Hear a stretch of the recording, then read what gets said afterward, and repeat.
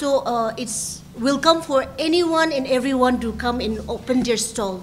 So if they think that three days of coming to the Dimapur, opening the market, that will give them profit, then uh, that is up to them, but it's open for everyone. The thing is, we cannot help them with the logistic or we cannot help them with the accommodation.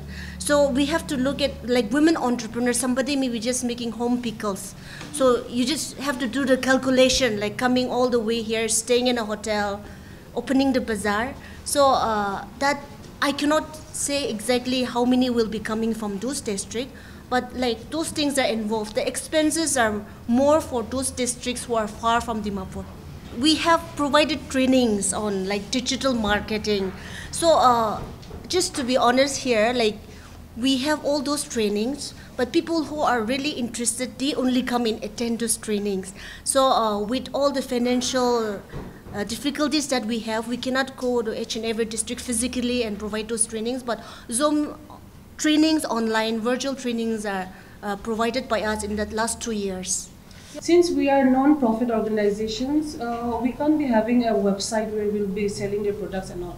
But then obviously in the future we will be facilitating where we can able to onboard those products to maybe uh, some mar marketplace like Amazon's, what uh, Amazon's or other like such mar marketplace. There are so many other market or island or to say like very local, but then very like uh, we can see their uh, progress, like growth and all. So maybe we can uh, try in the future to onboard that one. But then the physical um, workplace, like uh, marketplace, it's very required. And then it's not just about the uh, market, like I've mentioned, it's not just about the sales, but also it's a uh, it's about networking. It's about networking and also it's about the learning space, the learning environment that we have.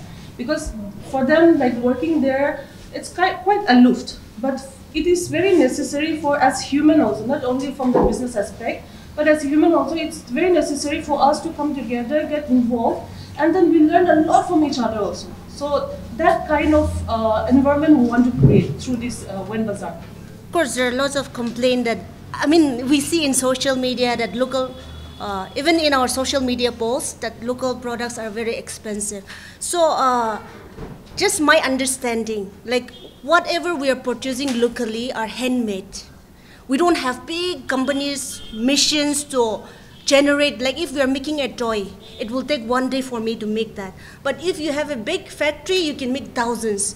So pricing sometimes it can be higher, but uh, we have to understand the, the infrastructure that we have. Like, you know, to make something, let's say to wave a mekla, you have to get the the trades from outside. You courier it, and it will go to Mokokchung or Tuensang. And actually, cost of delivery to Dimapur is very, like very cheap comparatively. But from Dimapur going to the other district is more expensive. So we need to look at all the logistic, everything.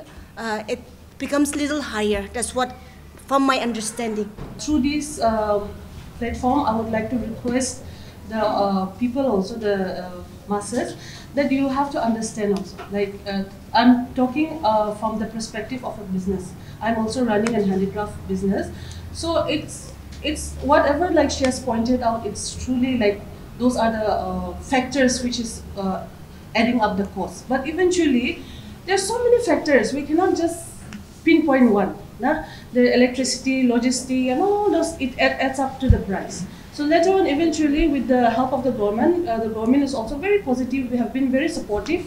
So eventually, things will be good. Like the price, whatever, like the um, our guest has mentioned, like the complaints that ha they have from the masses and all. Eventually, things will be fine. We are still uh, yet to arrive there.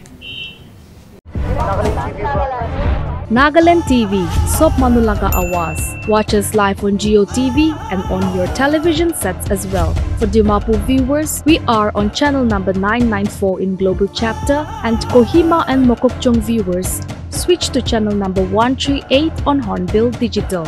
For all news and updates, follow us on Facebook, Instagram, YouTube and Twitter.